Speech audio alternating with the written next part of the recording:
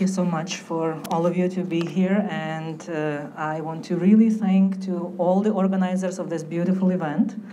Uh, they approached me and um, I couldn't possibly say no because it is so interesting to do these things. So why natural dyes? Natural dyes, well, first of all, because it's the right thing to do in some way, right? This is what they used to do.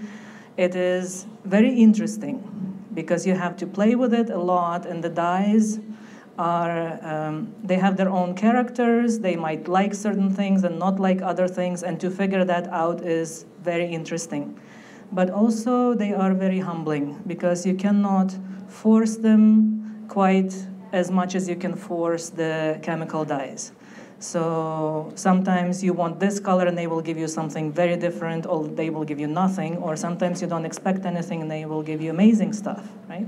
So it is really a nice journey. It is really interesting. It is really fascinating. So today, uh, today we'll talk just very briefly about history, which is not very good for us. Um, we'll talk a little bit about fabric dyeing versus egg dyeing because this is where we get most of our information, inspiration, and things like that. We'll talk a little bit about the kinds of natural dyes that you can get and where you can get them, mordants, and uh, some resources.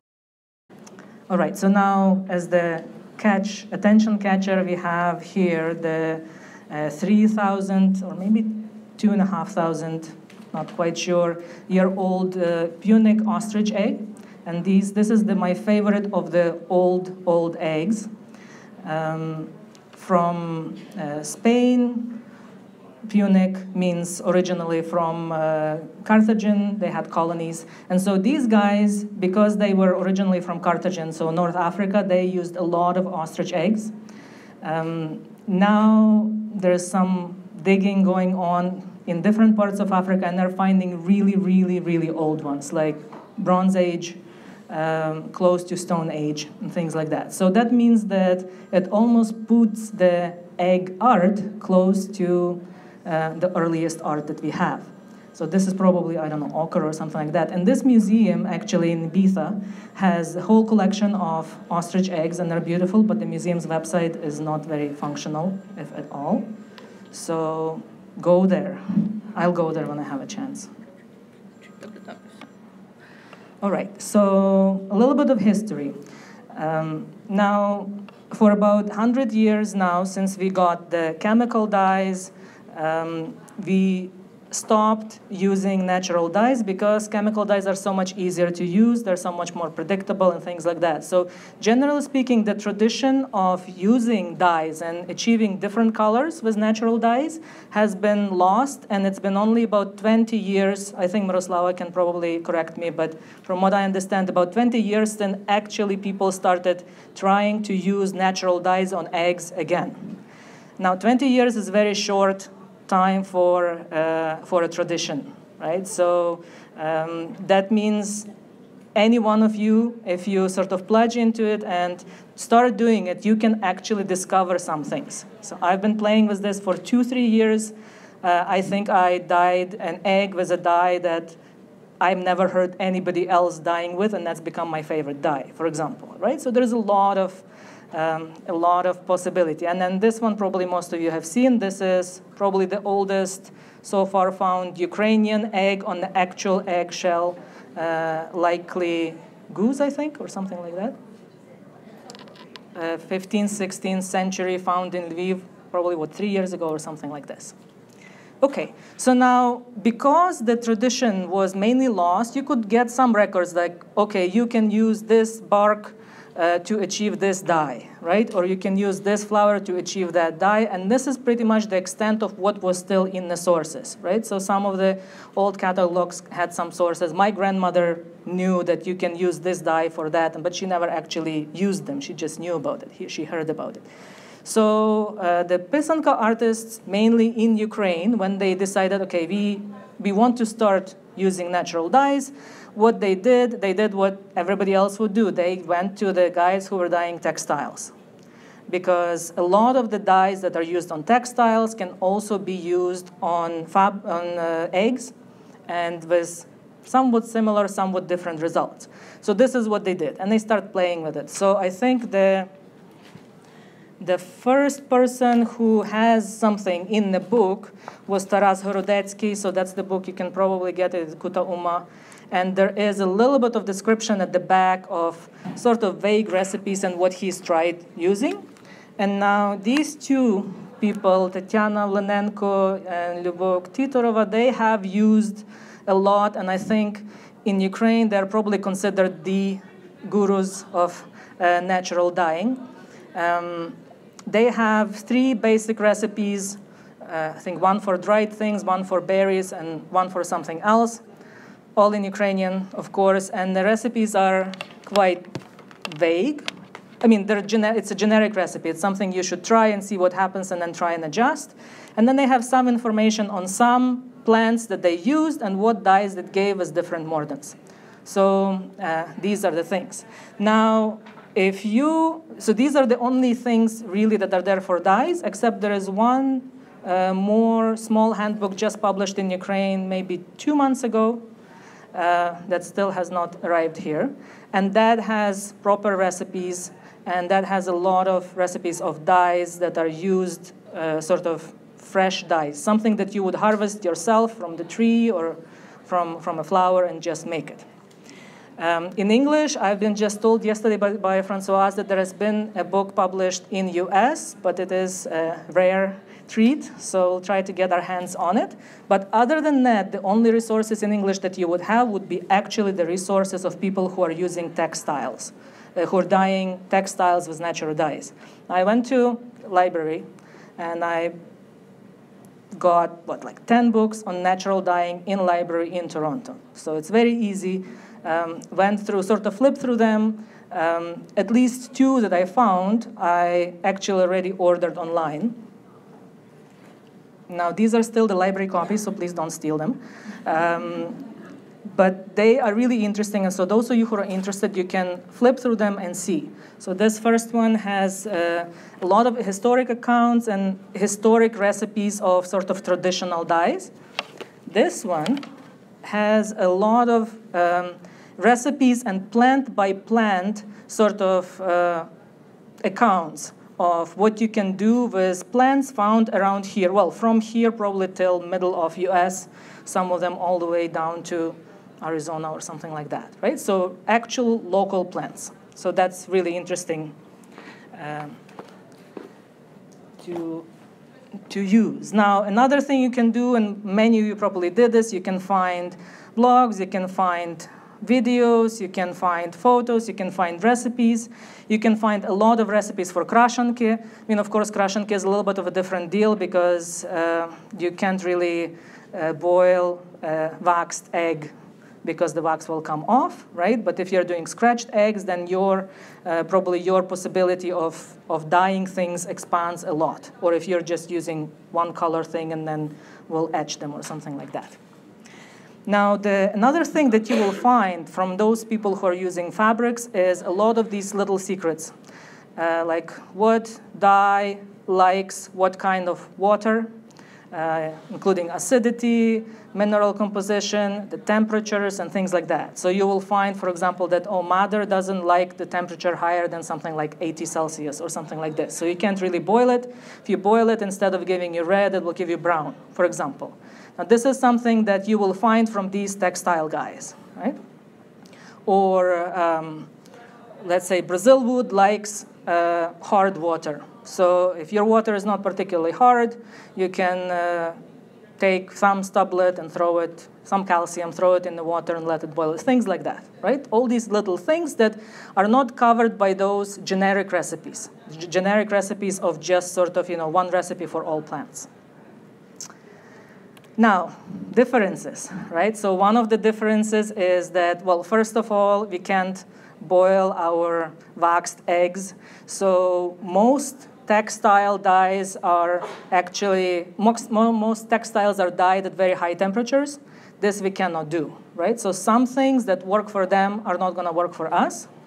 Other things that work for them are not gonna work for us because um, the procedure is different So just for curiosity's sake, I tried indigo dye that was working perfectly on the fabric. It did absolutely nothing for the egg, for me. I mean, maybe you will be a person who will discover actually what to do with indigo because indigo is the source of blue for natural dyes, indigo or indigo's cousins, right? Now, something that is a factor for, uh, for evaluating a lot of natural dyes for fabrics is there's two things. There is light fastness and there is wash fastness. Now, light fastness is something that is important for us because it is um, basically a criterion that they, they use to see how long the dye will last if it is expo exposed to light. Right? So now, for example, blueberry dye on eggs, if you just use it for blue color, will fade very fast. This is what I've heard. I haven't tried for, that particular reason, right? It's very dyes beautifully and fast, but it will fade away if you expose it to sun. So unless you want to keep your eggs locked in a you know cupboard or something like that, or hide them and only pull them out, you can't really use that dye, or you can use it but for short-term results. Uh, so that is something that you also learn from fabric guys, right? Having said that, the this light fastness might not be the same for eggs and for fabrics, right? So that's, and also generally, I mean, we don't wear our eggs on a sunny day out, right? So they're not exposed, exposed quite, quite as much as, as the, you know, the fabrics are, right? So that's something to take into account. So this is one of the difference. Sometimes it is to our advantage. Now, the wash fastness is something that is very important for fabrics, but it's totally not important for us because we don't put our eggs into laundry right?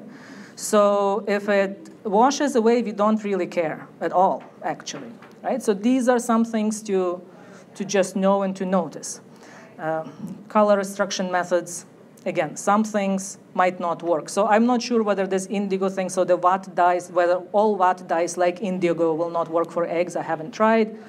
Some mushroom uh, dyes are used sort of in a similar fermentation method I don't know whether they would work for eggs, but so these are the things to explore and try, try out. I don't think anybody has tried mushrooms, mushroom dyes on eggs yet, so much. Okay, now kinds of dyes. So something that you will get in stores that sell the dyes for fabrics is what they call dye extracts. So this is something you will get um, in the form of a powder, or sometimes it sort of solidifies a little bit. But basically, uh, they extract it from the actual plant or animal material. I'm not sure what process they use for that. Now, they are uh, more effective in a way, they're more concentrated. Sometimes uh, you just need to actually take that powder and pour boiling water over it, mix it with a spoon, add the mordant, and it works. So that's how that one of the gold yellow dyes that you have there, this natural dye sort of corner, this is how it's made. It's very simple. You don't have to boil it. You don't have to actually work with it a lot. Uh, and you can buy them from different suppliers that supply fabric dyes. Now, on the other hand, though, if I'm using a flower to dye uh, an egg, I actually want to see the flower. I don't want to see the powder because that defeats sort of part of the purpose of, of it being a real thing, right? So there are sort of pluses, minuses, things like that. But they, they are a good source of something that you could use if you have nothing. You can go, order it online, uh, it will come, and you can use them and try in the middle of the winter where you, you know, you have nothing in your freezer or fridge or uh, whatever, right? So here on the top, you can see there is on the sort of top left, my mouse doesn't work here, top left uh, corner, you, you can see that pouch, that's a coreopsis extract. On the top right, sort of the purple one, that's logwood extract. So they're from two different suppliers, so they're differently packaged. And so the yellow in that egg comes from coreopsis. The dark background comes from logwood, and then the red comes from the wood chips that you can see there in the middle of sappan wood, right? And then another example in bottom corner, buckthorn, uh, common source for yellow dye, works really nicely for eggs. It does spoil sort of fast, but uh, that's what happens sometimes. Um, all right, so now dried material. So this is if you have time, resources, you want to play a little bit more, and you want to actually do the real thing, uh, the next easy thing you can get your hands on is the dried material. So sometimes it's wood chips. So on top you can see sappan wood there.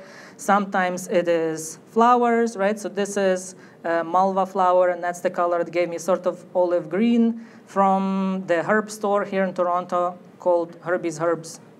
Uh, I mean, it sounds funny, but it is the best uh, Toronto store for herbs, for medicinal herbs. And so in that store, you can find a lot of them. You can also order them online. Um, so again, you can buy some of these also from the dye stores, but you can also buy these from medicinal herb stores. So that's another full source of things that you can use if you don't have a dye store uh, available to you. Um, and I like these guys, but they're a little bit more finicky in many ways, but at the same time, they are as close to real deal. And also, you can harvest things, dry them yourselves, right? And then those that deliver dye in their dye in their dried form, you can use them. Now, some things, when you dry them, they will not give you the same dye as when they're fresh. So, 100 years ago, they didn't have freezers. Now we do. So a lot of the things that you can actually collect when it's fresh, you can put in a freezer and you can make a diet of it, and some of them work really well or just as well as the fresh ones. I've known people who've tried it, and the mulberry dye that we have there is uh, a little moody, but this is from the mulberries from the tree here in Toronto from last summer, right? That's been frozen, sitting in the freezer, and there is plenty of mulberries around. They're like dirt, right? I mean, people don't like them because they stain the sidewalks and, and things like that. So these are the things you can also do that they couldn't do 100 years ago because freezers were not there. Now, I haven't tried dried mulberry, but I've tried dried um, elderberry. And while fresh elderberry is supposed to give really nice blue, purplish, down to dark, dark, almost black, the only thing I got from dried elderberry was sort of brown, a little bit boring brown. I mean, it's still a dye, it still works, but it works differently, right? So, um, you know, you can do different things with those. Actually, this background, that was dried elderberry. A little bit not so good. Okay, so now fresh things. Now, fresh things are the most tricky ones, but in some ways the most rewarding ones. So um, fresh plants, a lot of yellow and green dyes come from fresh plants only. And this is the issue that the fabric dyers have because they cannot really get a good green dye unless they use uh, copper mordants, which are uh, poisonous and apparently very bad for environment. Or if they over dye something that's yellow with a blue dye right? Now for us, there is quite a lot of fresh stuff that can give moderately good results in green dye. I've heard things about spinach, I haven't tried it, but there are also other things like um, krupiva. Nettle, right. Nettle, fresh nettle gives nice sort of, uh, not even hockey green, but like, you know, pale, nice green. And if you leave it for a while, it gives a good green. Now, somebody just posted on Facebook yesterday. They took the petals of red tulips, uh, made the dye, and it gave beautiful green dye. And that always, often what will happen that the dark red flowers will give quite a nice uh, green dye when they're when they're cooked. So malva flower, for example, if you get malvas that are dark burgundy, it will give the green dye things like that. So uh, these things are available to us. They are not used so much for, fabric, for, for fabrics. I'm, I mean, I'm not sure technologically maybe it poses some problems or something, right? Um, berries is another example. So um, flowers, leaves, husks, uh, walnut husks, um, whole plants and mushrooms that I don't think anybody's tried yet, but you can be the first one to try mushrooms. Some mushrooms are actually just boiled, um, so they might uh, work to extract dyes. Uh, mushrooms and lichen also. Uh, so all this blue you have here, that's the purple cabbage. It's very simple to do. You can get in grocery store, uh, make it very easily. So you can see some of these eggs down there. It's been, I think, a year and a half or so. Uh, they have, been, have not been kept very hidden from light, and they have not been also exposed too much. It sort of lasts a bit, but generally people who use, uh, who dye fabrics, they don't like cabbage because they say it doesn't last, right? So might be slightly different for us. It stinks, but it only, the egg only stinks for about two or three weeks.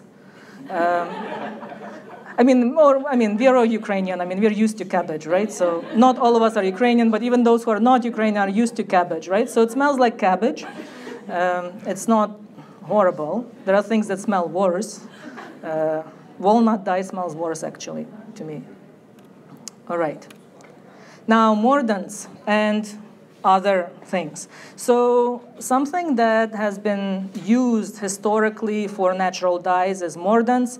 We see them as chemicals. They're not necessarily chemicals in a bad way because most of them occur naturally. And in fact, one of the sources of uh, alum mordant in Europe in Middle Ages was uh, near to Uzhhorod. So that's just west West Ukraine, and this is what the, if you go to like German page of alum, they will tell you we got this from Italy, this, this, this, and this, you know, Western Ukraine, Eastern Hungary, or whatever it was at the time, right? So this is something that occurs at salt. You can buy it in a grocery store because it's used for pickling. And alum is the most, it's potassium aluminum sulfate. It's the most common and most safe thing that you can use uh, to actually enhance the natural dyes. And it doesn't only enhance the color, it often also affects this light fastness and wash fastness of the dye. So how long it's to stay and how well it's to adhere.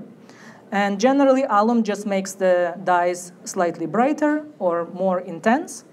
Now, another thing that also can be used that is um, was used historically a lot also, and it is available is iron. So ferrous sulfate, this is the most common iron supplement.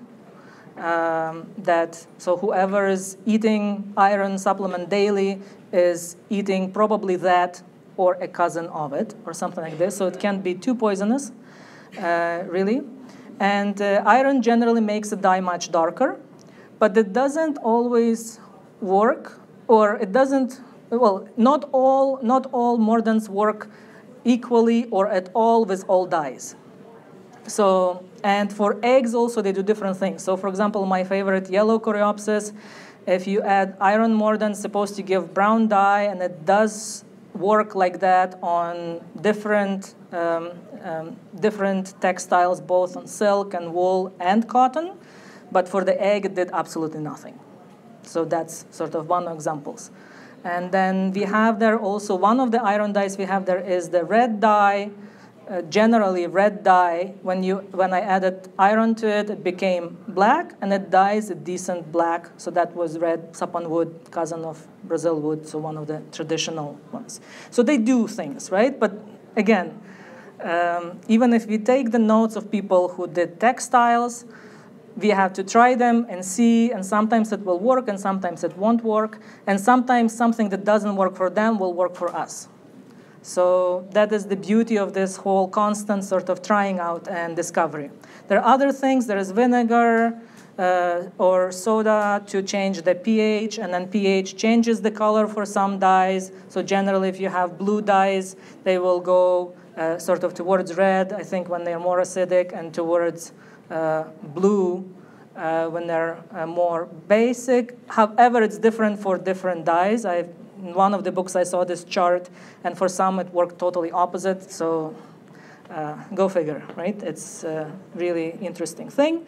Cream of tartar is another thing. Chalk is another thing. So all of these things are available. Now, there are some really nasty uh, mordants too, and a lot of them were used historically, and a lot of them are still used for, uh, for textiles but I, and these guys, uh, these guys in Ukraine, they used a bunch of them, but I would not really suggest because they are really nasty. So it's chromium, copper, uh, and zinc, and something else they use sometimes, uh, tin, right? All of them are supposedly pretty bad.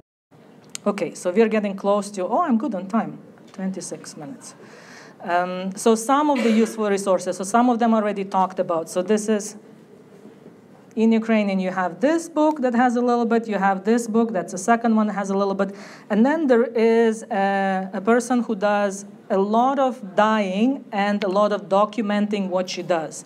And this is a person who made this new handbook that just came out two months ago. and she has a blog. She's also on Facebook. So if you can read Ukrainian, um, and I mean, her eggs are absolutely beautiful, both the traditional ones and her own eggs. I, I mean, she's this girl is total gold, right? So follow her or friend her on Facebook, and uh, if you can read Ukrainian, it's amazing source. This is the only reason I'm doing this is because I saw her blog a couple of years ago and totally, totally inspired me. Because a lot of people do this in Ukraine, but very few people actually document what they're doing. Or maybe they document, but quite a few of them are a little secretive about it. So uh, she is the one who's not secretive. And so that's quite rare. Now, in English, uh, again, there is that one book I just found out about uh, yesterday. Colleen Macaulay. Colleen Macaulay, right. Um, other than that, I sort of started my own blog, but I don't do it quite often enough. But if there is some interest, I will probably post things more frequently. It's just sort of, yeah? Didn't Luba Petrusha uh, translate some of Taras's book into English? That I am not aware. I think she did. I think she translated some of the, or, or, or all of that book. I think I've seen that too. Yeah, Lu- Luba So Petrusha, that would be, yeah, that would Uh, be a, a, a good resource, yeah. Uh, Yeah, I can. I mean, I I know about her. I follow her on Facebook, but I haven't seen this thing. So that could be something. Having said that, I don't know whether she would have translated the part because in Taras's book, there's only like last three pages that has some of the recipes of the things. But uh, these, you know, two next links that you also have on your website are those two online stores, one in Vancouver, one in Halifax. The one in Vancouver, or Vancouver Island, I'm not quite sure, um, that maiwa.com. It has a very useful free PDF booklet you can download from them. And there is a little bit more information also on the site, but this was the first thing that I actually tried, and that was extremely useful because it had recipes for fabrics, not for eggs, but something to start with, right? And it had the proper information about the acidity that particular dye might like or not like, about what to add, about temperatures and things like that. So you can, you know, you could buy dyes there, but also you can get that free PDF downloaded and use it as a starter, as an English resource. Um, the store, again, Herbie's Herb store in Toronto. So that's something to go to. And another thing I did at the sort of in that handout, as a sort of, I thought a little bit more about it. I actually give you examples of the dyes that either I have used from those sources or I know that somebody else has used on eggs and they worked more or less, right? Um, so these are the kinds of things that if you get it, it has worked for somebody that I know, for me or somebody I know. So um, that is something to sort of start with, right? And then to go further, so to go into something like this book that has way more plants than I, than, than I know, and they're all local plants, right? And it has all that you can actually take a look at some point. I know, cherry, chestnut, cranberry, cucumber, daffodil, fungi, gale, whatever, right? And proper recipes, uh, proper sort of indications of how it works and things like that, and see whether it will work for eggs.